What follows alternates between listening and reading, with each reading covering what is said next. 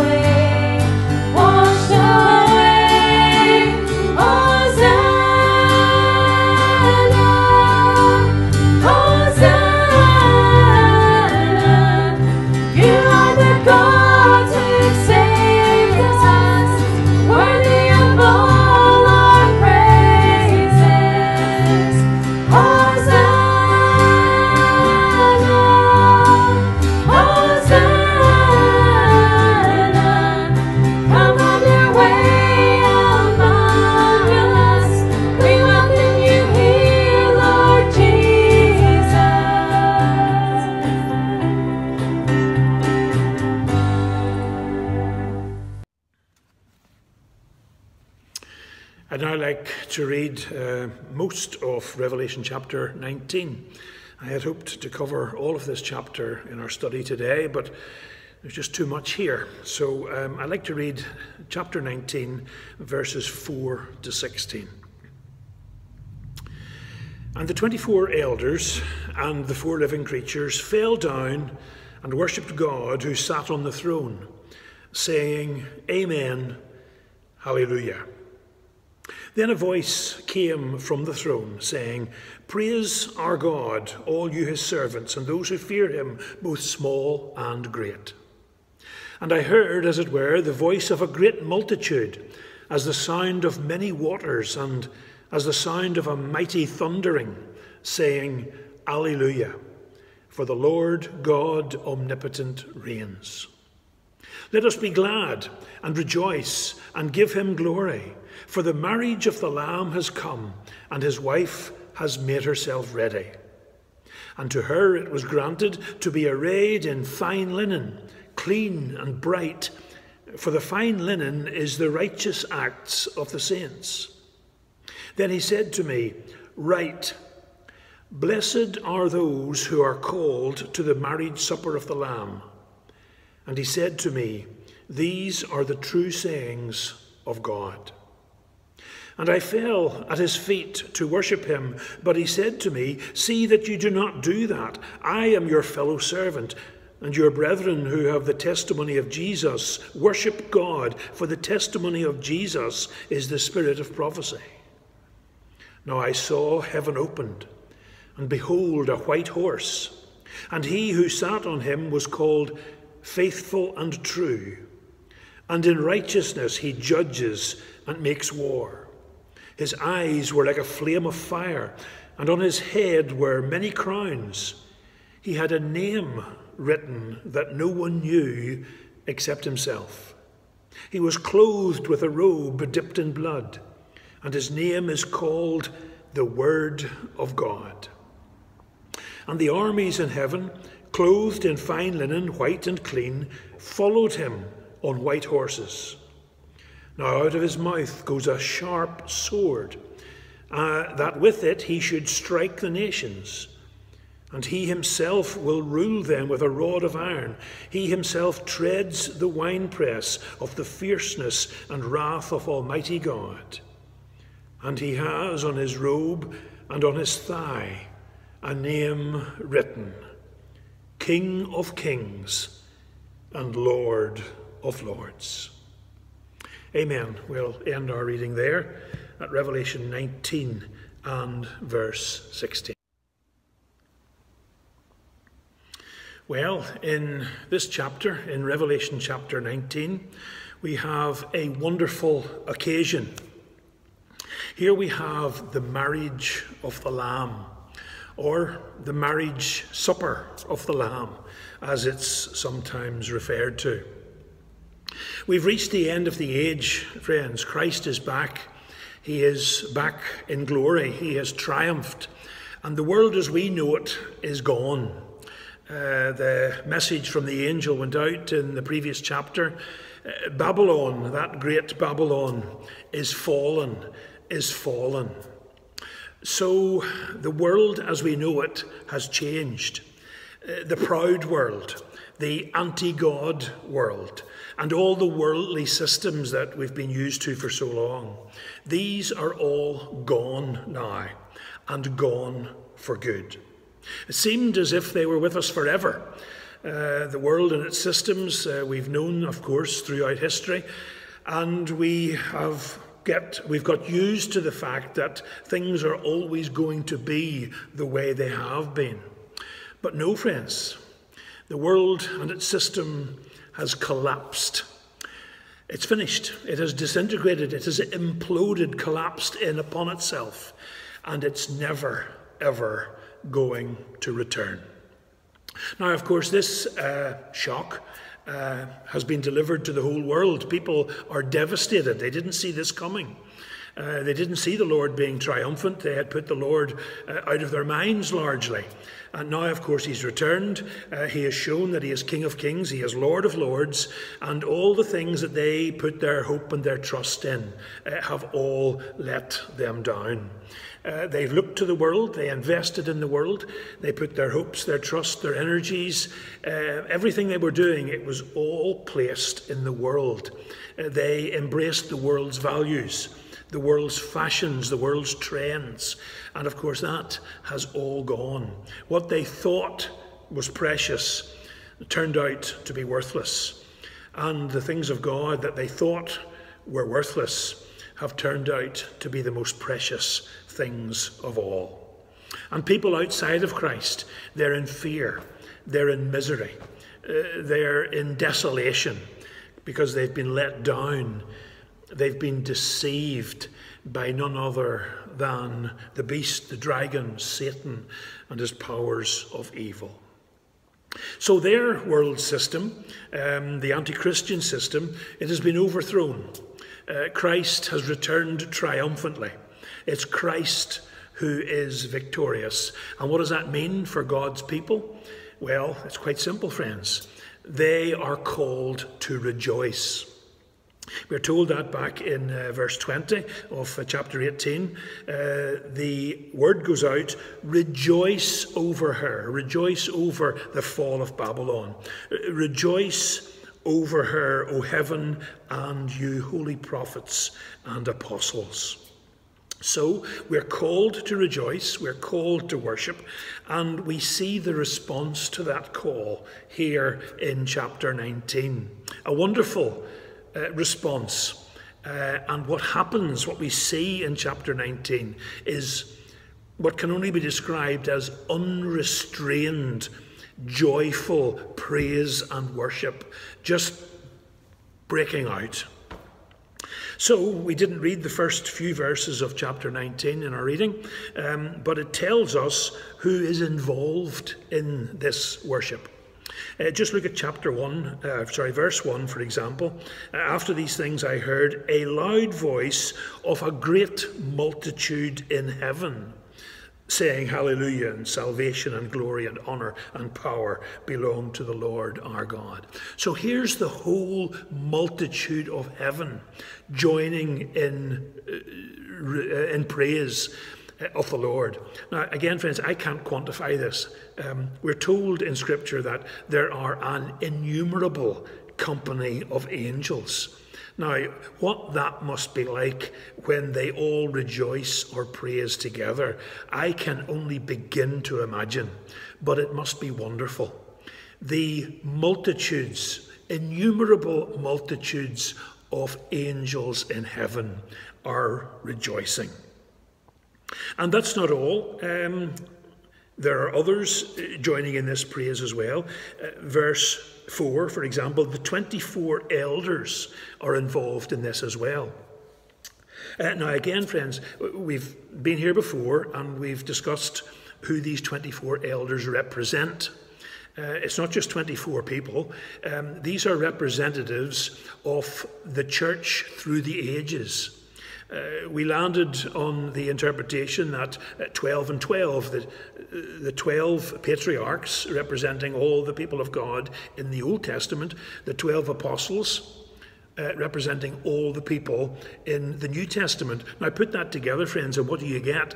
You get all God's people throughout all of history, and they're rejoicing in heaven. Um, they've all gone to be with the Lord. Uh, they've been waiting in heaven for their uh, resurrection bodies. They're there as spirits, uh, as disembodied spirits. And everyone who has ever put their trust uh, in God is in heaven, uh, an innumerable amount as well, countless millions down through the ages, and they too are rejoicing in praise, uh, represented by these 24 elders. Again, try to imagine, friends, all the godly people who have ever died throughout history, the innumerable company of angels, and they're all bursting forward in praise for the Lord.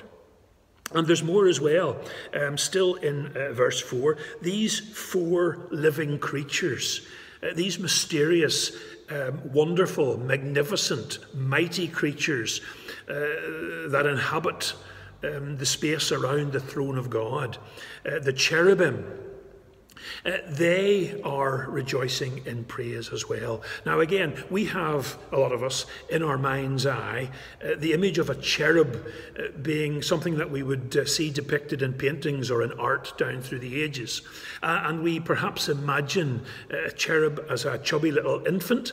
Um, perhaps with a couple of wings and a little horn or whatever, but we think that cherubs are like that. Um, cute little creatures. Friends, I doubt that. I believe the, the cherubim and the seraphim are uh, strange but wonderful and mighty and magnificent creatures. And they too are joining in this praise.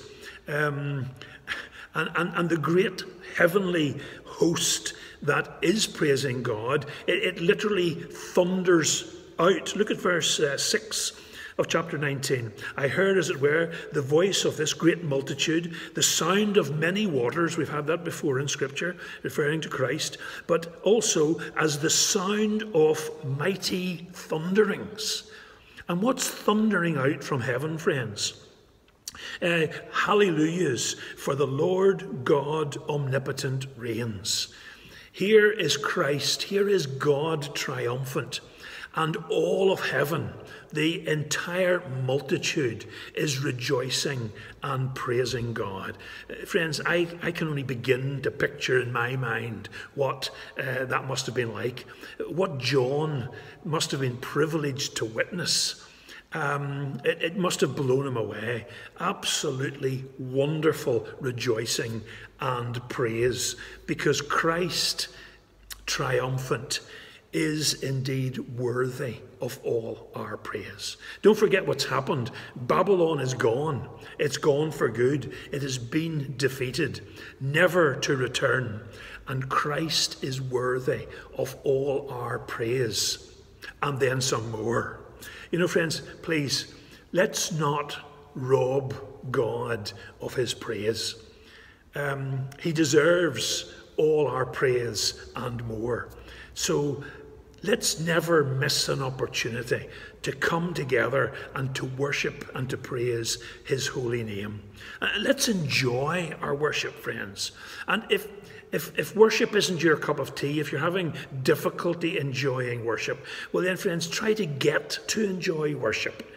You'll, you'll, you'll, you'll be going to glory, you'll be with the Lord, there'll be an awful lot of worshipping throughout eternity.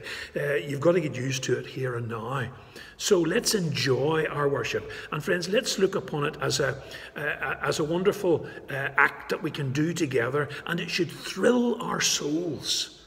We should be thrilled to worship God because think of what He's done for us. Uh, think of how He's conquered. Um, all the powers of evil. Think of the inheritance we have. Friends, if, if that doesn't thrill our souls, well, I don't know what will. Um, so let's not rob God of his worship.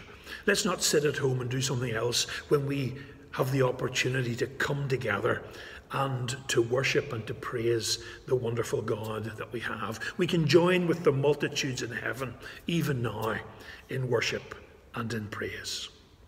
Now, if that wasn't enough um, to rejoice over, uh, the triumph of Christ, the defeat of the world's systems, Babylon being gone, if that's not enough, well, there's something else in this chapter as well, friends, as I've already said. Uh, here we have the marriage of the Lamb. Now, um, this is, this is a, a, another reason to rejoice. Uh, don't we always rejoice when uh, there's a wedding on the horizon? Well, again, friends, this is the exact opposite of what goes on in hell. Remember the uh, contrasting uh, mirror image we had uh, in the last chapter? Um, everything that is glorious and wonderful about heaven is missing in hell. There's singing and rejoicing in heaven. There's none of that in hell. Um, there's light and truth and enlightenment and, and beautiful things in heaven. There's none of that in hell. Well, we're also told in the last chapter, uh, chapter 18, verse 23, uh, we're told there um, that there's no bride or bridegroom in hell. There's no sound of weddings anymore there. Uh, 18 and 23. The light of a lamp shall not shine in you anymore. Uh, the voice of bridegroom and bride shall not be heard in you anymore. Well, friends, it's the exact opposite in heaven. Here we have the bride and the bridegroom being united. Now, don't get me wrong, friends, I know uh, there's no giving and taking of um, each other in marriage in heaven. The Lord has, has said that, the Lord has told us that. But here we're not talking about individuals getting married. Here, the bride is no less than the church itself um, the people of Christ together, collectively, are his bride. Uh, he is the bridegroom. We are the bride. And uh, bride and bridegroom are coming together in this great marriage or this great marriage supper that we read about here in chapter 19. Um, and, and we've been prepared for this moment, friends. Um, we, are made ready. Um, and, and we're, well, it's like what we do nowadays still. In fact, not just nowadays, but down through the ages. Anytime we attend a wedding, we put on our good clothes, we put on our suits, we put on the new dresses and hats and stuff that we've bought. Okay, we put all this on because we um, we're going to a wedding, so we're getting dressed up for the occasion.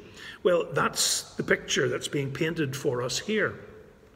Uh, we read uh, verse 8 um, that to us, to the church, to her, it was granted to be arrayed in fine linen. Fine linen, clean and bright. Now, so there we are. We're at this uh, wedding and we are dressed, figuratively speaking, in fine white linen. Now, what does that represent? What are we clothed with? Well, we're told here, friends, still verse 8 the fine linen is the righteous acts of the saints. That's what we are clothed in, friends. The fine linen that we are dressed up in for this wedding is our righteous acts. Now, I want you to think about that for a wee minute, uh, because we already have the righteousness of Christ imputed to us or transferred to us. Our righteousness is no good, as it were, uh, not good enough to get us into heaven. But we have to take on the righteousness of the Lord Jesus Christ. Now, that's not what's being talked about here.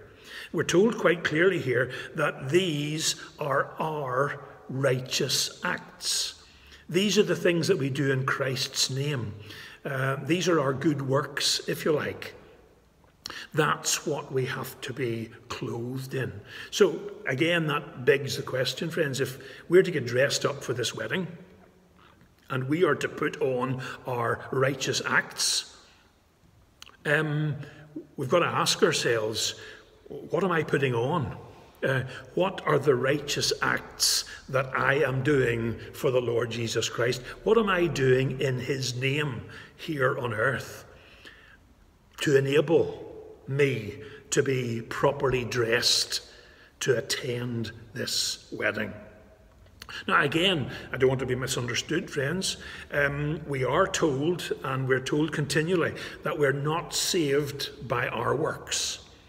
And I accept that. We're saved by the grace of God through faith in the Lord Jesus Christ. So we can't save ourselves ourselves by our good works. But that doesn't mean, friends, that we shouldn't do those good works. You know, a, lot of us think that uh, we just have to believe, we just have to say the prayer, um, we just have to give some sort of mental assent, and then we're saved. And we, we, we, we, we, we may well be. But how do we prove that we are saved? Uh, how do we prove that we belong to Christ? Well, it's worked out in our lives. How has it worked out in our lives? Through our good works, through our righteous acts. Our righteous acts are so, so important, friends. A lot of us um, pray the prayer and sit back and do little or nothing, uh, but then we'll have nothing to wear at the wedding. We mightn't even be invited to the wedding. We have to put on our good works, which are a proof of our salvation.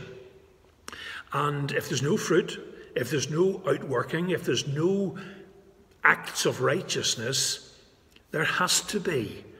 Because when we're getting married, we have to be properly dressed, not only in the righteousness that comes from the Lord Jesus Christ, but our own righteous acts, our obedience, our holiness is important in our life because it proves that we are saved. I hope, I hope I've made that clear, friends.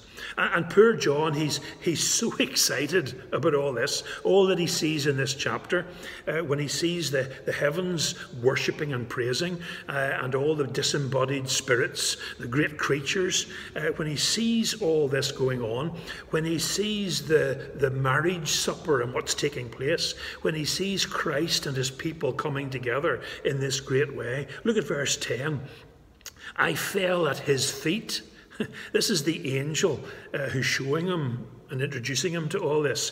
He falls at the angel's feet to worship him. But the angel says to him, Don't do that. I'm just your fellow servant. Imagine that, friends. This mighty angel whose glory filled the world, who's able to show John all these things. Um, in a wonderful way, he just describes himself as a fellow servant along with John. You're not to worship me. I'm just an angel. I'm just a messenger of God. I'm just a servant, fellow servant like you. Please, don't worship me. He says, You have to worship God. You have to worship God alone. And friends, again, that's another reminder. Let's not rob God of his worship. Uh, let's not worship angels or any other created being. Uh, let's not worship ourselves. Let's not worship anything in the world. Let's not worship um, uh, what we get involved in our jobs. Let's, let's, let's take all those idols away because those only rob God of the worship and the praise that is due to Him. So please, uh, the angel says, don't think about uh, wor- uh, worshipping me. Look to God and look to God alone. So there we have in chapter 19, we have uh, the worship of so many uh, in glory. We have the wedding itself, Christ, the bridegroom, coming to his bride, the church. And verses 11 to 16, we'll finish with the word. So the worship, the wedding, and now the word. Uh, verse 11 uh, John now sees heaven opened. Okay? Not just a door and a little look into heaven. Here he sees heaven itself opened wide. And what happens? Out rides the Lord Jesus Christ. Uh, verse 11 um, I saw heaven opened, behold, a white horse. He who sat on him was called faithful and true. Uh, we're told later on, verse 16, this is Christ, this is the King of Kings, this is the Lord of Lords. And he comes out on this, figuratively speaking, he comes out on this great white horse. And the description is given here, just look at verse 12 uh, for a little minute. Again, it's all figurative language, but it gives us an idea of, what Christ is like. And it's a wonderful description. Uh, for a start, his eyes um, were like a flame of fire. Uh, friends, his eyes are all seeing. His eyes are all powerful. His eyes are um, piercing. They see everywhere. Okay? Uh, he rides out from heaven, and there's nothing going to escape his notice. Never has and never will. His eyes are like fire. His head, still verse 12, his head was crowned with many crowns. Okay? Um, the dragon, Satan, had a limited amount of crowns. Um, but the Lord has many, many crowns. He's far more powerful than Satan. He's a, a greater ruler than Satan ever was or ever could be. And his name, of course, we're told here in verse 13, as if there was any doubt at all as to who this rider on the horse is. Verse 13, his name is called the Word of God. Immediately, what do you think of? John 1 and verse 1. In the beginning was the Word, and the Word was with God, and the Word was God the Lord Jesus Christ, the incarnate Word of God. Here he is riding out from heaven. And, and by the way, friends, this isn't the, um, the gentle Jesus, meek and mild. No. Take a look at the rider in this horse, friends. His robe is already stained with blood. Now, um, could be a reference to his own shed blood, uh, but I'm not so sure. Perhaps this uh, blood is the blood of his enemies, the enemies that he has now conquered. Again, all figurative language, but he rides out and. Um, verse 13, he was clothed with a robe dipped in blood. And of course, his name is called the Word of God. And he has a sword, friends. Again, I think we know, and we're told elsewhere in Scripture as well, just to back it up, we're told exactly what this sword represents. It's the Word of God. Uh, that's what he wields, friends. Um, the sword is the Word of God. Uh, out of his mouth goes a sharp, um, some versions say a sharp two edged sword, uh, and that with it he should strike the nations and he himself will rule them with a rod of iron. Friends, the word of God goes out from the mouth of the word of God, as it were. Um, and he uses that sword, he uses that word. Now, how does he use the word of God, friends, as a sword? Well, friends, everything and everybody will be judged by the word of God. That's what we're going to be measured against. We'll be judged by Christ through Scripture. And really, what that means is we have to familiarize ourselves with the Word of God. Uh, if that is the uh, measuring stick for so many things, uh, we need to know what we are being measured against.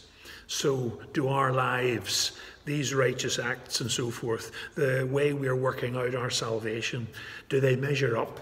Do they match the Word of God itself? We have to, friends. In Christ, we have to measure up to the Word of God. So, uh, again, there we have it, friends. I think I'll leave it there. Um, we have chapter 19. Uh, we have the three W's, if you like, if it's easier to remember for you. We have worship, wedding, and word. And I just want to summarize that in this way. First of all, worship. What about you, friends? How are you worshipping? Ask yourself as an individual, truthfully, be truthful before God. Do you enjoy worship? Uh, do you take every opportunity to worship the Lord? Are you, in, are you enjoying your worship? Are you thrilled by worship? Or do you need to work on your worship? Or are you robbing God of the worship that he so richly deserves? There's the wedding, that great uh, wedding feast that's described. Are you going? Will you be there? Have you accepted the invitation from Christ to attend that wedding? The offer's still available. If you haven't taken it up, take it up now without delay. Accept the invitation. And when you accept the invitation, remember you've got to get dressed up. You've got to put on those righteous acts. You've got to do those things that the Lord asks you to do. You've got to prepare yourself to be dressed properly at this great wedding. And thirdly, the word. The word that the, goes out and that uh, the Lord's going to, uh, to use to judge people. Do you know that word? Do you know the scriptures? Do you know the incarnate word of God? But regarding the scriptures, friends, are you reading them? Are you familiarizing yourself with them? Because you'll need to you know which righteous acts you should be doing and how you should be serving the Lord and living your life. So there you have it, friends. Uh, hopefully, that's a little bit more uplifting than all the doom and gloom of some of the previous chapters. It's a marvelous occasion. It's the wedding supper or the wedding feast of the Lamb of God Himself, Christ and His people coming together in triumph at the end of this age and forever and forever. I'm looking forward to it, friends. I hope you are too. I hope we're all getting prepared. And I look forward to seeing you at the wedding. Amen. Our closing hymn, the second one from our singers and musicians, is uh, entitled Who Can Know? And of course, uh, it goes on, Who can know the mind of our Creator? Well, friends, we can know the mind of our Creator through what He reveals of Himself in His Word. Who can know the mind of our wonderful Creator?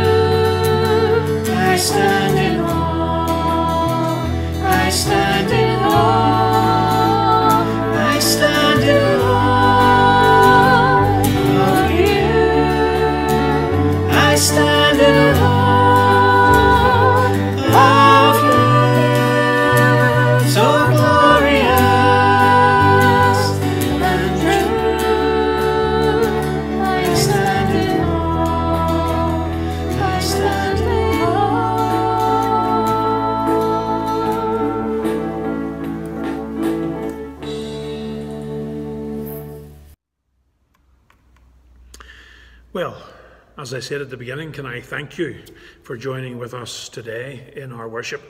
Um, may the Lord have blessed you, uplifted you, and um, prepared you for whatever the week ahead has in store for you.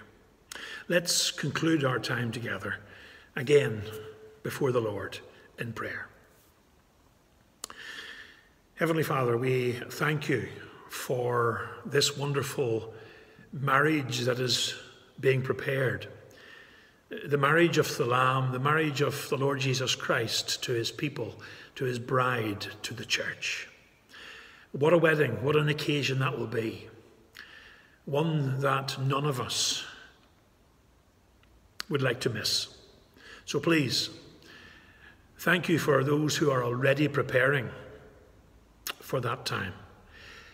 Please speak to those who don't know about this wedding or who as yet have not been invited. Well, they have been invited, but as the word has gone out, perhaps they have not accepted that invitation. Well, we're always told that now is the day of salvation. And while there's life, while there's time, with the Lord there is always hope. So let's make sure that all that we know, all our family, all our friends, all our loved ones, will all be at that wonderful wedding, being brought together with the Saviour forever and forever. Help us if we haven't already. Help us to think on these things, to consider the magnitude, the wonders, the glorious nature of all that's freely available to those who embrace the Lord Jesus Christ. And help us, if it doesn't seem too irreverent, help us just to seize with both hands everything that the Lord is offering, to receive it, receive it gratefully, and to seize it for all eternity. Please hear our prayer and bless us now and forevermore. In the Saviour's name we pray. Amen and amen.